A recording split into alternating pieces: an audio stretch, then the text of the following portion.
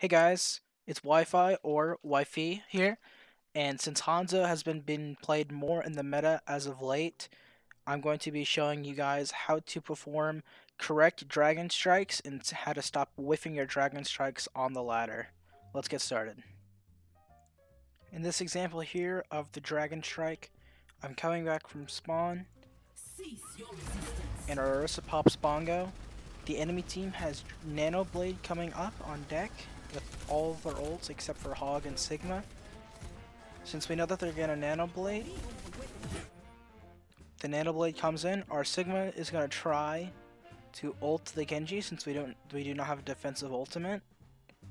We're going to our Sigma misses the Genji, but I use my Dragon Strike preemptively to block off the Genji's heals from the rest of his team.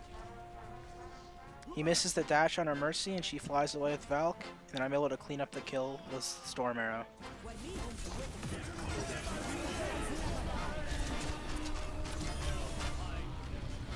Example here, our team is about to lose the fight, and I'm just trying to build Dragon here to try to make a last ditch effort play. We see the Hog on the flank, so I'm going to Storm Arrow the Hog, and then immediately sprint into Jump Dragon to try to Dragon Point to try to deter them to get off cart so we can get enough space for our team to come back. This also inadvertently splits off the Zen and gets him some damage into the Zen. And he split off from his team and he can't harm any, any of his team. Unfortunately, the Ana can still see the team and we try to at least try to get a few cleanups, but the fight is lost. Another tip that comes with this play is the Hanzo tech where you can jump while dragoning in midair if you if you do your dragon strike and leap at the same time, you will leap with your dragon strike, and you can change the direction that you are currently in midair on. You can do the same with wall climb, and you can also charge an arrow immediately after dragon striking. In this next example, we have an example of a dragon strike which is very unorthodox the Flank Dragon Strike. With the Flank Dragon Strike, your Orisa needs to be ready to go for the pull, so we coordinated this in advance. You can't just go for it without telling anybody.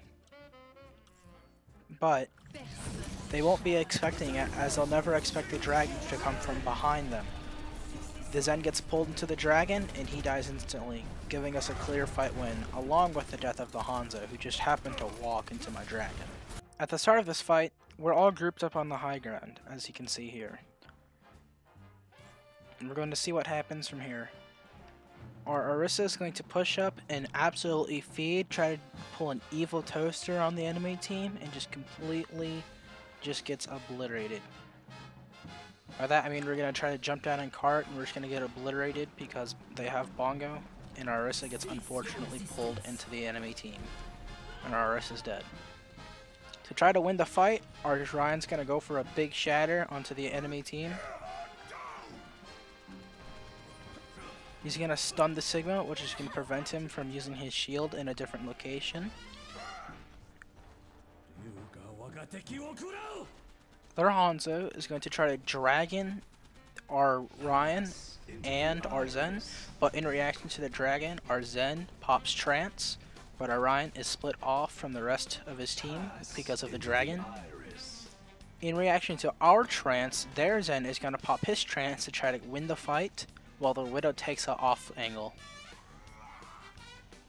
To try to win the fight in a last ditch effort, I'm going to use Dragon Strike and completely cut off the point from the rest of the team, knowing that their trance is going to end soon.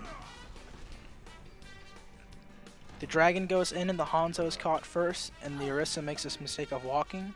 I also notice that the Widow is taking the off angle and take her for take her out. The Sigma I notice has Discord Orb on him, therefore he is weaker to my fire, and so I take him out last. And finally, I've clutched out the point in a 2v6. Coming into the middle of a team fight here, I'm going to try to use my dragon to try to pump damage into the enemy team as much as possible. King's Row is a very good map for Hanzo because as you can see here, there's not all of the enemies are very bunched up with a lot of tight corridors on King's Row being good places to throw your dragon to try to catch some enemies off guard. With Orion being nanoed and going for a shatter, I'm going to try and shoot my dragon into his team to try to prevent any follow-up that they might have. They're not going to be able to push up because of the dragon, and our, while our is constantly freezing them in the back. They're not going to be able to push up at all.